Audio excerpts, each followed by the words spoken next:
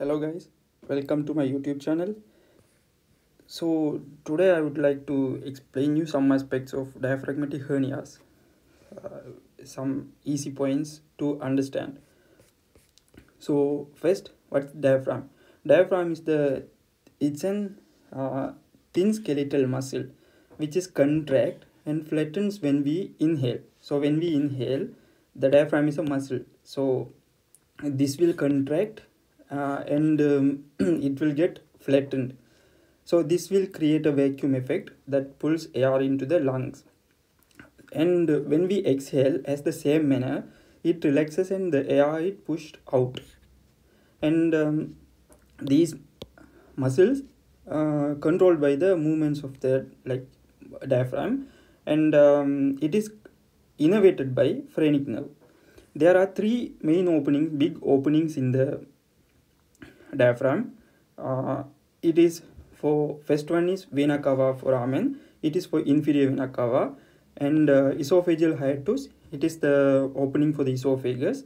And uh, aortal hiatus uh, aortic hiatus it is for aorta so the diaphragm it's not only the respiratory organ like it's not only the fun the function not only the respiratory function. It also have um, non-respiratory functions such as like uh, it increase the intra-abdominal pressure to help body to get rid of the vomit urinary feces.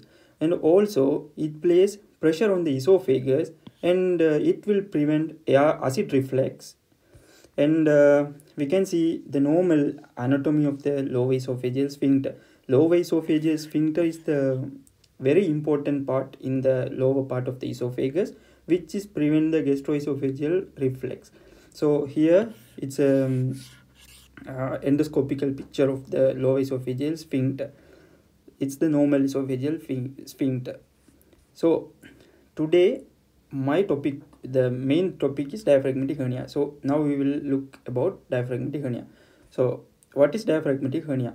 Any prolapse of the abdominal organ in the thoracic cavity through the congenital gaps uh, which are vertebrocostal or sternocostal trigones or through dilated natural apertures like we already mentioned here natural apertures are three, three big apertures right hiatal opening, aortic opening, and vena cava foramen. Those are natural apertures. And uh, through the traumatic opening, any blunt trauma or penetrating trauma uh, can cause the diaphragm to uh, tear. It will cause a prolapse of the organ. So here we will look uh, look about risk factors of the diaphragmatic hernia. Any uh, situation which is increasing the intra-abdominal pressure will cause prolapse of the organ because see here in this picture i am like it's an just for uh, schematical picture it's not an anatomical picture. Like i wrote for my or easiness for the understanding. So when the intra-abdominal pressure increases the organs will get more pressure like out from outside and it will push uh, outside through an opening. Like any defect if you have it will pushed out through that defect. So uh, so the reasons where you can get high intra-abdominal pressure such as obese patient they can have high intra-abdominal pressure. And pregnancy also can give intra-abdominal pressure high bending and coughing weightlifting and uh, along with these things age also contributing.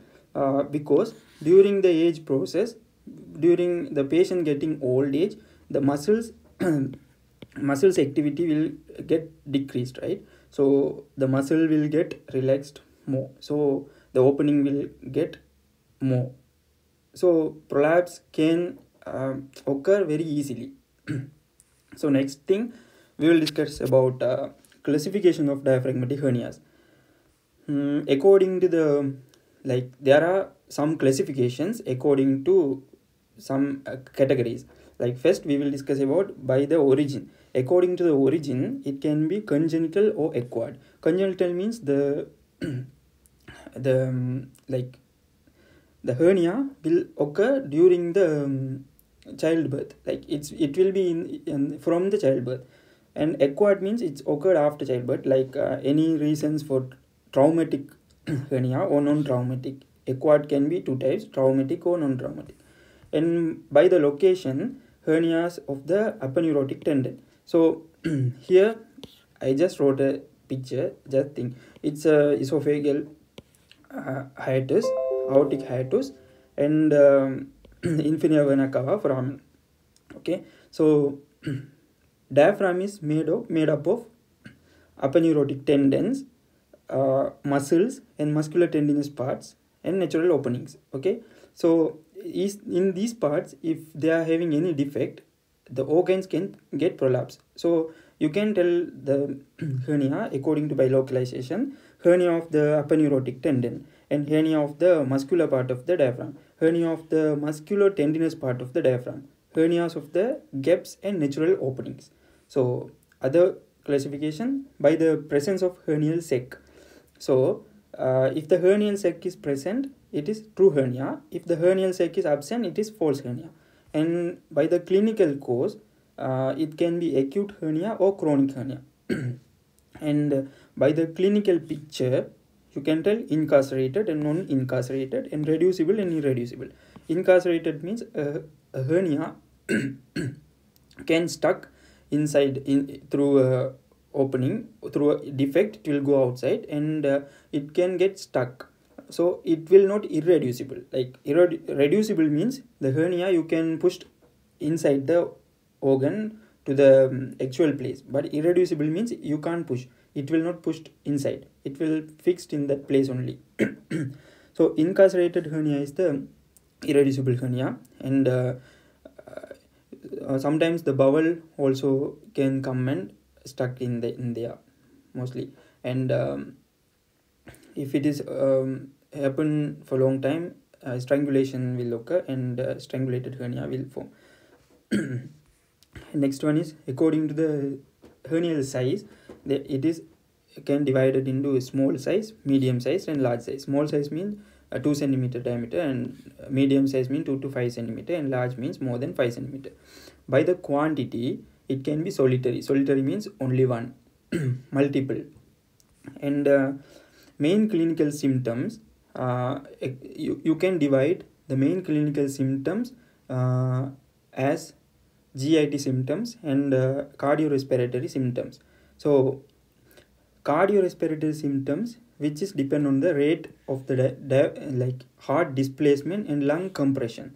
Okay, like for example, see in this picture, uh, if if it is the hernia occurred, um, it will compress the heart pericardium will um, some part of the omentum or some part of the bowel loop enter the pericardium.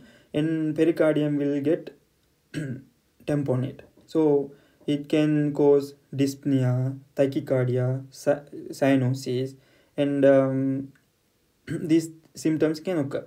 And also if the if the part of the um, organ compress the lungs you can get collapse symptoms. And uh, dyspnea there can be uh, causes causes of the dyspnea can be cardiac causes metabolic causes and chest causes uh, for the from the chest it can be copd and bronchial asthma and pneumonia and interstitial lung fibrosis. These can cause dyspnea. Uh, these are the chest causes and metabolic causes anemia can cause mm, DKA can cause. DKA means diabetic ketoacidosis. And uremia can cause. And cardiac cause uh, decompensated heart failure can cause dyspnea and acute pulmonary edema can cause pulmonary embolism can cause angina uh, equivalent can cause cardiac tamponade can cause and pulmonary hypertension can cause so we can tell the symptoms of heart uh, which are the differential diagnosis. Like um, they can have heart attack symptoms and pain sweating shortness of breath and heartburn. In auscultation in case of diaphragmatic hernia can hear peristalsis in the thoracic wall. Why? Um, the now the abdominal organ is in the thoracic cavity. So when you auscultate uh, by the stethoscope normally uh, it should be in the abdominal part right? Abdominal organ should be in the abdominal part.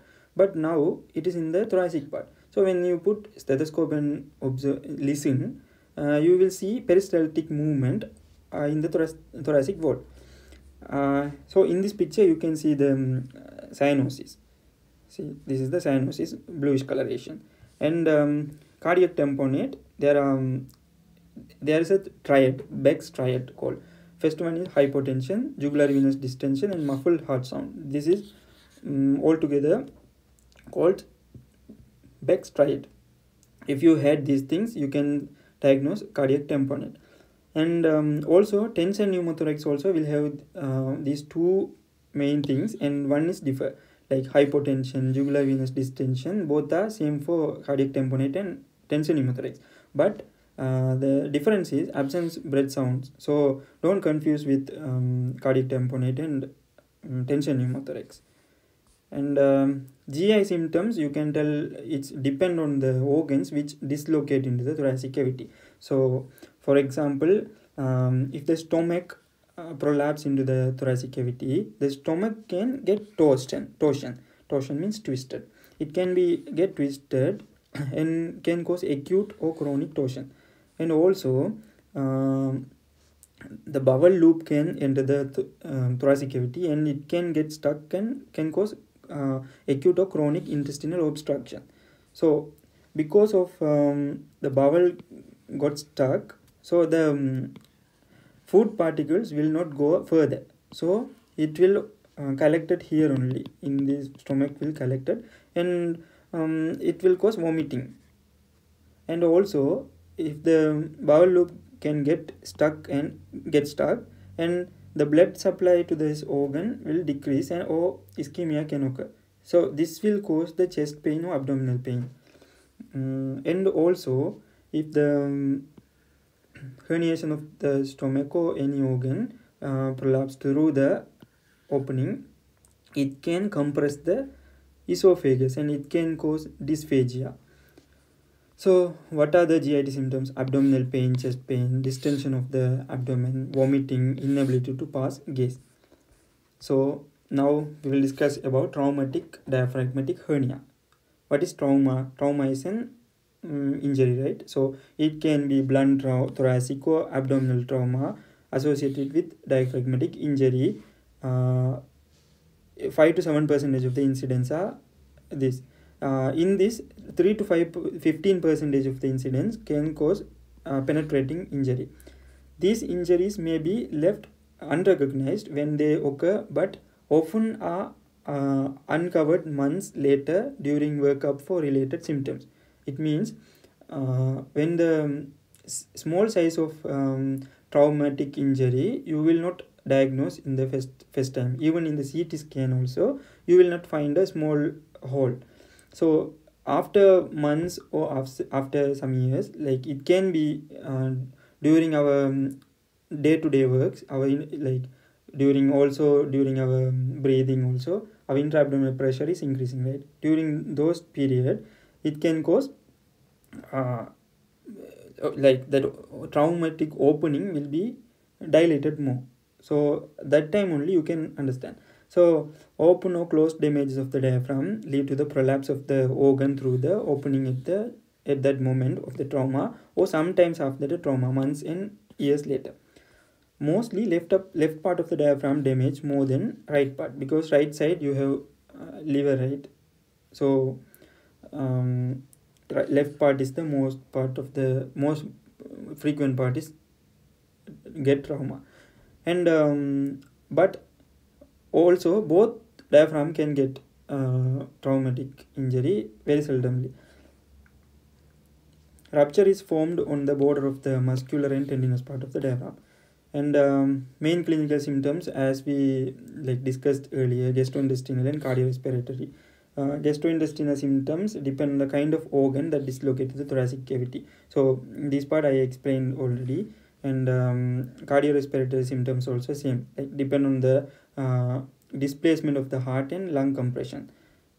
Uh, so the main instrumental examination you have to do like plain thoracic x-ray uh, in plain thoracic x-ray you can see like uh, gas uh, you can see like raised dome of the diaphragm and movement like decreased movement of the lungs you can see.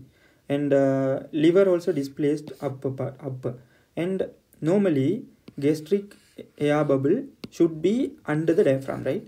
But uh, you will see the gastric air bubble upper in the thoracic part. So it will usually um, it is a differential diagnosis to the lung abscess also like dry cavity or chronic cavity lung abscess you should think about lung abscess also. It's a differential diagnosis. And uh, also barium swallow can done and endoscopy with biopsy can done and esophageal manometry can done. And the main thing the gold standard is ct also ultra, ultra ultrasound also can done. Uh, ct is the gold standard investigation. In ct you will see this is the ct example of the ct you will see um, collar sign or hourglass sign on ct this is hourglass you know right? Already everyone knows hourglass. Uh, so it will looks like hourglass appearance. So these are the investigations methods. Complications of diaphragmatic hernias uh, it can enter the abdominal cavity and stomach can get torsion right? So torsion of the stomach and if the intestine is get stuck uh, intestinal obstruction can occur. And um, the bowel or omentum if it is uh, herniate to the pericardial sac it can cause pericardial tamponade. And if the bowel is um, obstructed it can cause ulceration in stomach ulceration of the stomach uh, or bowel wall. Um, the treatment option like for all traumatic hernias must be operated like any uh, traumatic hernia it should be operated only. Um, principle of the surgical treatment is first you should um, suppress this organ into the same place where it was already and uh, suture the diaphragmatic defect. Uh, see in this uh, diaphragm di like diagram it is just for the explanation. So uh, this bowel loop is uh, suppression into the natural place and the suture uh, has put suture material uh, should be Lavsan suture it's a not uh, catgut suture. Lavsan suture means polyester, polyester suture, um, which is the non-absorbable suture material. So the recurrence rate of the hernia will be reduced. Um, and after the uh, like suture, plication in the diaphragm opening is more reliable method have to done. In case of uh, suture tension, uh, above the suture you have to do plasty uh, by the strengthened by the allograft uh, you can see in this picture first suture suture line in the this is the suture line in the green color. And uh, above that you you have to strengthen by allograft um, so some important notes character volume and the rate of the transferred organ filling and also size uh, from the location of the hernial opening influences the clinical symptoms. Uh, for example, like already I discussed about this, but again I will tell you, cardiopulmonary depend on the rate of uh, the displacement of the heart and lung compression, right? So the transfer speed of the abdominal organ in the thoracic cavity has the big meaning because the compensatory mechanism fails to develop because it's a very fast movement. So compensatory mechanism will be will not be there. That's why acute traumatic hernia you will have full blown evidence of dyspnea cyanosis tachycardia sometimes collapse um, connected with the lung compression like collapse is connected with the lung compression and the dislocation of the mediastinum and loca- like localization of the hernia opening in case of congenital or acquired pericardial hernia uh, the migration even of the small part of the bowel or omentum in the pericardial cavity cause symptoms of uh, heart compression or pericardial tamponade. Uh, so blunt trauma, abdominal trauma, how it can cause diaphragmatic hernia. Uh, if the blunt trauma occurs, which is increase the intra-abdominal pressure. And uh, if the intra-abdominal pressure is increased the diaphragm can't stand the pressure and it can break. So uh, through the break open part the um, intra-abdominal parts can be go outside. So clinical picture of the traumatic hernia traumatic hernia i already mentioned. And also also uh, like along with this uh, patient can have gastroesophageal reflux disease also so he he can have like um, regurgitation of the food and um, sore belching he can have. And um, so now i will talk about other part hiatal hernia uh, hiatal hernia what is hiatal hernia um, herniation of the abdominal organ usually stomach through the esophageal hiatus in the diaphragm. Um, already i showed a picture about uh, esophageal hiatus right? Through that esophageal hiatus opening hiatus means opening right? So through that uh, esophageal hiatus uh, abdominal organs can prolapse. So the diagnosis is usually made by radiographic contrast studies demonstrating an abdominal organ higher than the level of the diaphragm. So the causes can be uh, weakened muscle tissue allows the stomach to bulge up through the diaphragm. So causes uh, age related changes in the diaphragm. During the age process, the diaphragm get weak, weakened. Also the injury to the area, for example, after the trauma or certain types of surgery can cause weaken this area. And also congenital. Uh, for example, the, the patient has been born with this large hiatus and uh, persistent and uh, intense pressure on the surrounding muscles such as while coughing vomiting straining during the bowel movements exercising or lifting the heavy objects. Hiatal hernia can be um, there are main types two main types but uh, uh, actually four types having but uh, the main types are type 1 sliding or axial hiatal hernia uh, which is results of the extension of the endo-abdominal fascia through the hiatus which allow a small portion of the gastric cardia to slide up into the esophageal hiatus. Uh, in this, like phrenic, like phrenoesophageal membrane remains intact; it's not ruptured. There is no true peritoneal hernial sac, so it's a false hernia. The main symptom is gastroesophageal reflux. See, in this scheme, I will explain uh, the esophagus is coming right so normally the endo abdominal fascia is extend out upside so along with that the uh, stomach part also will go up. So low esophageal sphincter also automatically will go up. Um, normally the low esophageal sphincter should be in the level of diaphragm or below the diaphragm uh, but now it's in the upper part. So the low esophageal sphincter get um, relaxed somewhat because uh, there is nothing to um, compress this one right? So it will get relaxed so uh, whatever the acid acid remaining in the stomach it can enter the esophagus. So acid reflux can occur. Um, so peritoneum is not coming out. So that's why it's a false hernia like peritoneal hernia is not present there.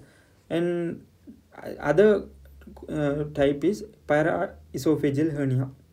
Paraesophageal hernia uh, it can be type 2 type 3 type 4 in type 2 the um, along with the esophagus uh, abdominal organ like um, stomach part can enter the abdominal cavity. Along with that uh, the peritoneum also will enter. So peritoneal sac will be there. So true hernia. Um, but the main difference in this type 2 and type 1 is low esophageal sphincter is upper localized in the upper part uh, above the diaphragm in type 1 and in type 2 the low esophageal sphincter will be in the same uh, position. Like it's a normal position not abnormal position. Um, so like in this opening there's a defect. That's why the organ get prolapse. So you can see it's a normal stomach picture and sliding hernia hiatal hernia picture and paraesophageal rolling type of hernia so i forgot to tell about. Type 3 is um, this the low voice of uh, type 3 right? So see type 3 you can think 1 plus 2 equal to type 3 so 1 means uh, first type of hernia 2 means uh, second type of hernia. It means in this type 3 also also the lower esophageal sphincter uh, also can get upper and also the stomach part will prolapse in the thoracic cavity. So both uh, will be there. In type 4 uh, bowel loops can get um, outside through this esophageal hiatus uh, that is called type 4 so here you can see a picture for type 1 hiatal hernia normal hiatus and hernia and uh, symptoms we already discussed. Okay we, we discussed for traumatic hernia. So what are the complications of uh, type 2 hiatal hernia? It is like gastric strangulation or infarction because uh, gastric part can enter the um, abdominal cavity and it can get stuck and the blood supply can cut completely and it can get strangulated or infarction. Or acute or chronic ulcers with bleeding or perforation can occur and uh, acute intrathoracic gastric dilatation can occur and respiratory insufficiency can occur. The main thing is in hiatal hernias the gastroesophageal reflux the symptoms of uh, reflux are the heartburn and regurgitation of the patient and dysphagia bleeding and substernal chest pain a sensation of spasm or something uh, stuck in the thorax and respiratory symptoms will be there because uh, when the patient got reflux or um, the digestive food can enter the esophagus right? Backflow. It can enter the um, respiratory system like can get aspirate so it can cause cough and other symptoms dyspnea like that. So in this uh, barium swallow study you can see hiatal hernia it's a paraesophageal hernia. It's a um, type 1 sliding hernia also type 1 sliding hernia. Uh, it's also type 1 sliding hernia because here you can see stomach part and here narrow part. And also this one have stomach part up and narrow part. So type 1 so the di diagnostic tool for hiatal hernia is barium swallow chest x-ray endoscopy with biopsy stool for um, like uh, like stool check for uh, bleeding unknown bleeding right? It's a micro bleeding uh, guaiac stool test and esophageal manometry.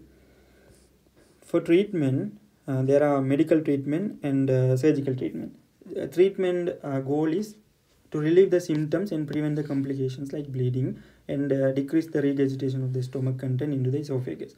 So for that mm, for these um, regurgitation things and to prevent GERD can give antacid so H2 receptor blocker or proton pump inhibitor. So like antacids can neutralize the stomach acidity which already um, secreted and uh, proton pump inhibitor can decrease the acid production extra.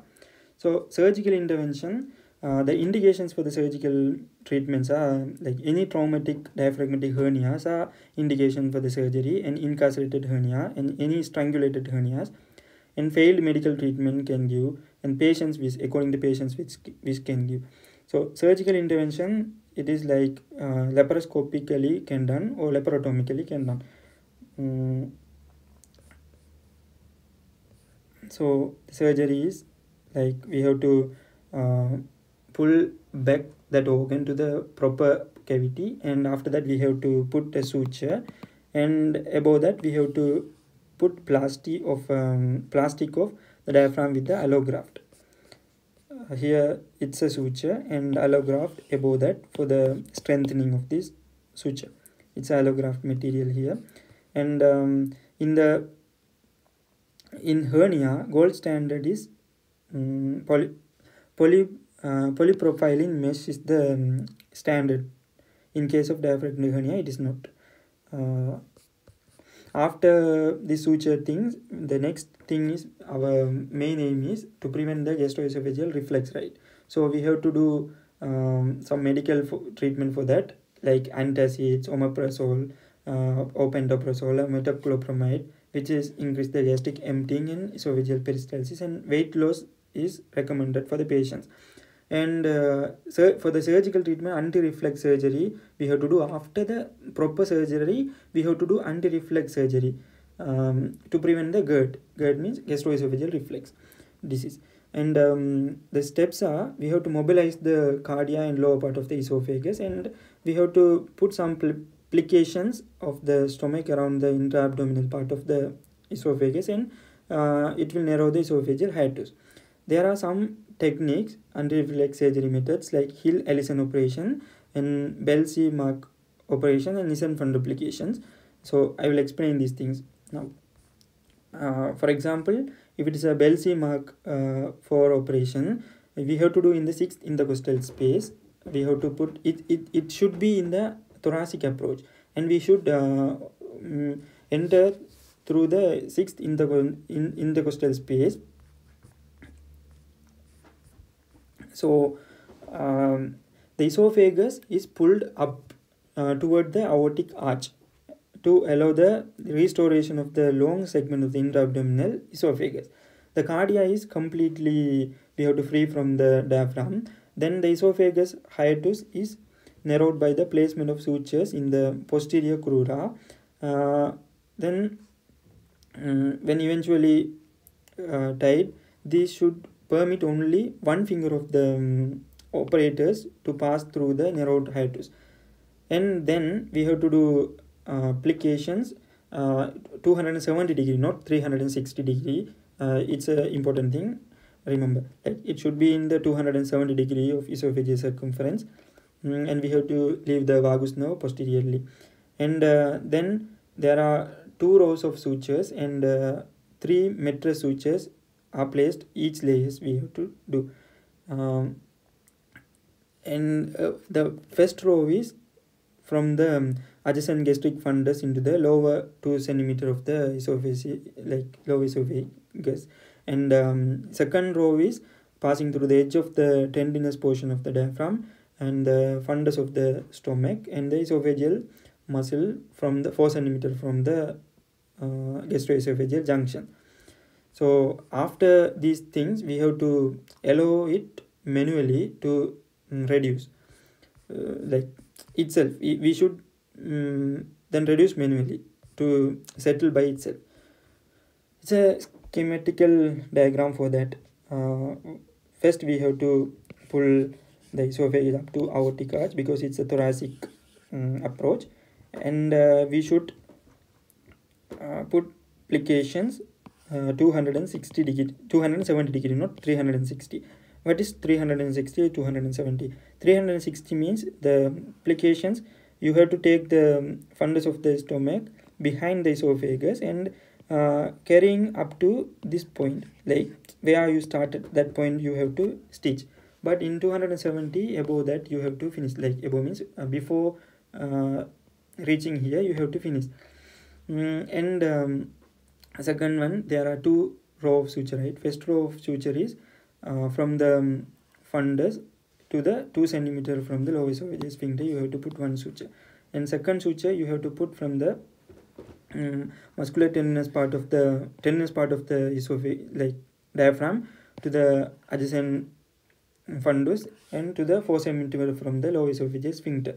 And between them three rows of uh, mattress sutures you have have to put. And second method is Nissen fund fundoplication Nissen fund fundoplication is uh, like you have to do you can do it uh, either abdominal approach or thoracic approach. Uh, it is like um, you you will take the fundus of the stomach backward and you will stitch it 360 degree.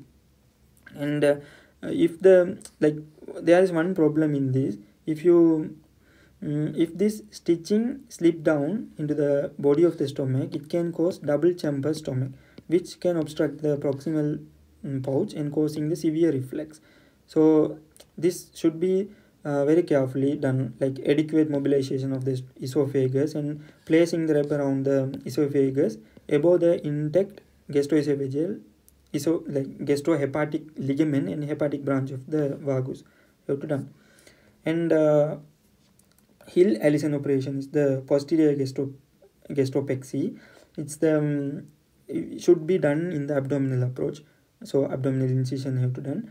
Uh, we have to um, like extensive mobilization of the esophagus through the hiatal opening and suture are placed in the diaphragmatic crura to the narrow to the hiatus i mean uh, it's a diaphragm right so it's the crura medial crura uh, here medial crura here celiac trunk uh, so you should take the diaphragm, the lower esophageal sphincter near the medial crura and you have to put anterior and posterior suture for that. Mm, that is called uh, posterior gastropexy. Uh, and uh, that's all guys. Uh, I hope you enjoyed this lecture and I hope you understood some of them. Mm, please subscribe and press bell buttons if you like this video thank you guys